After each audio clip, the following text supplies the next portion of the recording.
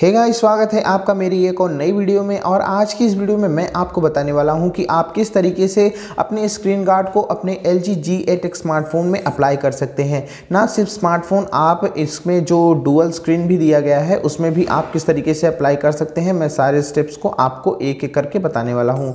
तो मेरी आपसे रिक्वेस्ट है कि आप एक एक स्टेप को ध्यान से देखिएगा और वीडियो को मैं फास्ट फॉरवर्ड करके दिखाऊँगा ताकि आपको क्लियर आइडिया लग जाए।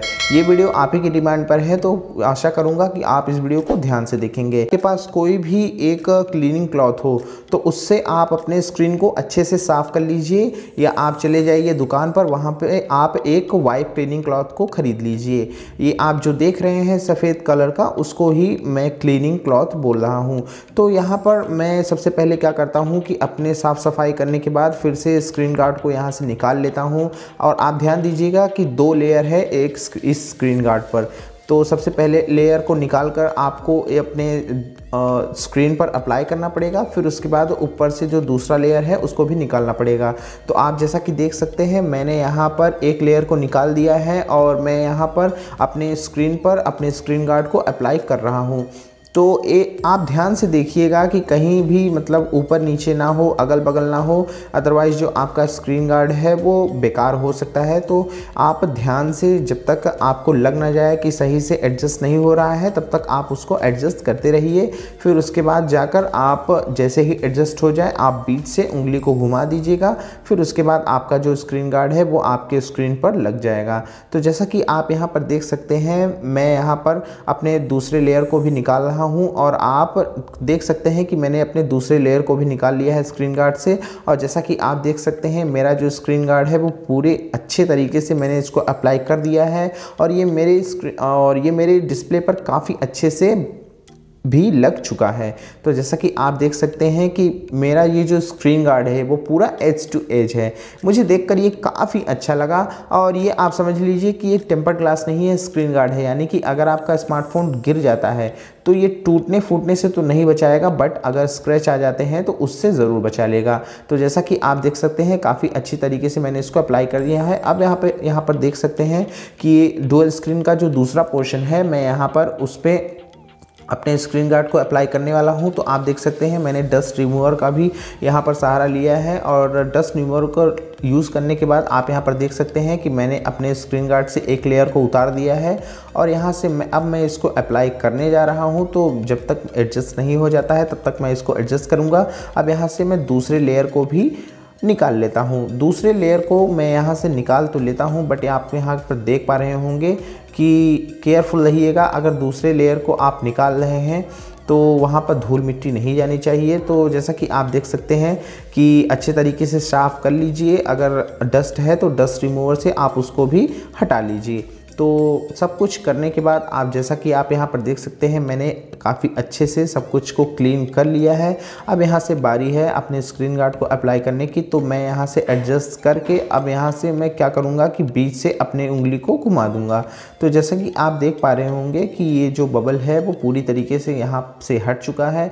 कुछ थोड़े बहुत बबल्स रह जाएँगे तो आप टेंशन ना लीजिएगा। जब आप अपने स्क्रीन गार्ड को अप्लाई कर देंगे तो वहाँ से आप चाहे तो अपने स्क्रीन गार्ड से उस बबल को भी हटा सकते हैं। तो जैसा कि आप यहाँ पर देख सकते हैं, ये फाइनल प्रोडक्ट है, मैंने यहाँ पर अप्लाई कर दिया है। जैसा कि आप यहाँ पर ऊपर की तरफ़ देख सकते हैं, ये जो थोड़ा सा बेजल बबल आ चुक, गया है, ये मेरी ही गलती थी क्योंकि मैंने अपने स्क्रीन गार्ड को एडजस्ट करने के चक्कर में दो तीन बार निकाल लिया था। तो उस वजह से यहाँ पर बबल आ चुके हैं बट आप चाहें तो इनको भी हटा सकते हैं बाद में। अब यहाँ पर बारी है मेन स्मार्टफ़ोन के स्क्रीन गार्ड को अप्लाई करने की। तो यहाँ से मैं क्लीनिंग क्लॉथ से इसको अच्छी तरीके से साफ़ साफ़ कर लेता हूँ इसके स्क्रीन को। यहाँ पर अगर डस्ट रिमूवर का भी काम लगता है तो मैं उसको भी यूज़ में ले लेता हूँ। तो जैसा कि आप देख सकते हैं कि मैंने यहाँ पर काफ़ी अच्छे से इसको साफ़ किया है। लगभग से दो मिनट मैंने इसको साफ़ किया।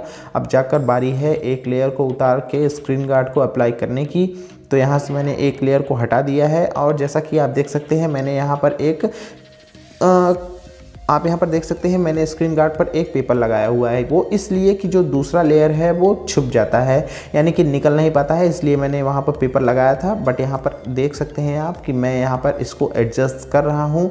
आप अच्छे से ध्यान से देखिएगा कि जब तक ये एडजस्ट ना हो जाए, तब तक आप इसको अप्लाई मत कीजिएगा।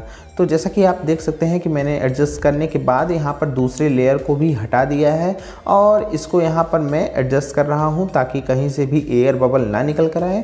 तो जैसा कि आप देख सकते हैं, मैंने यहाँ से दूसरे लेयर को भी निकाल लिया है और आपके सामने है ये। जैसा कि आप देख सकते हैं कि मैंने यहाँ पर फिर से अपने स्क्रीन गार्ड को निकाल लिया है तो टेंशन लेने वाली बात नहीं है।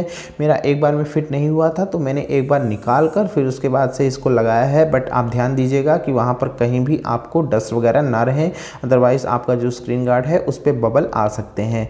तो जैसा कि आप देख सकते हैं, ये है फाइनल प्रोडक्ट जिसमें मैंने अपने स्क्रीन गार्ड को अप्लाई कर दिया है। आप यहाँ पर देख सकते हैं, काफ़ी अच्छा कटआउट ऊपर की तरफ़ दिया गया है, और ये जो स्क्रीन गार्ड है, वो एज टू एज है, यानी कि अगर आप इसमें अपने बैक कवर को भी इस्तेमाल करेंगे, तब भी आपको कोई भी शिकायत का मौका देखने को नहीं मिलेगा। और जैसा कि आप देख सकते हैं, काफ़ी खूबसूरती से ये स्क्रीन गार्ड अप्लाई हो चुका है और हल्का सा बबल आप कोने के साइड में देख रहे होंगे बट वो माइंड नहीं कर सकते हैं। आप यहाँ पे, यहाँ पर देख पा रहे होंगे कि ये है यहाँ पर चौथा और फाइनल जो मैं यहाँ पर अप्लाई करने वाला हूँ अपने पीछे के साइड में। और जैसा कि आप देख सकते हैं, इसको भी आप अच्छे से क्लीन कर लीजिएगा और क्लीन करने के बाद अगर आपको लगे कि कहीं भी और डस्ट वगैरह है तो आप अब डस्ट रिमूवर से डस्ट को भी हटा लीजिएगा, ताकि आपका जो स्क्रीन गार्ड है वो स्मूथली आपके बैक में फिट हो जाए। तो मैं यहाँ से अब दोनों लेयर को हटाकर फिर यहाँ से इसको एडजस्ट करता हूँ। सबसे पहले बारी है एक लेयर को हटाकर इसको एडजस्ट करने की। तो मैंने यहाँ से दोनों लेयर को हटाकर अपने स्क्रीन गार्ड, अपने बैक पैनल पर अप्लाई कर दिया है।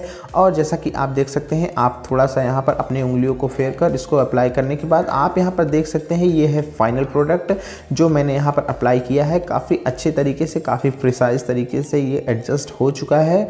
और यहाँ पर काफ़ी अच्छा ये एलिगेंट लुक लग रहा है। और अगर आप देख सकते हैं कि ये है फाइनल प्रोडक्ट जो यहाँ पर मैंने अपने तीन चारों ही स्क्रीन पर अपने स्क्रीन गार्ड को अप्लाई कर दिया है और आप यहाँ पर देख सकते हैं मुझे टच वगैरह में कोई भी शिकायत नहीं है कोई भी यहाँ पर डिले नहीं हो रहा है तो ये काफ़ी अच्छा है और पीछे का भी आप देख सकते हैं काफ़ी अच्छी तरीके से ये फिटिंग हो चुका है।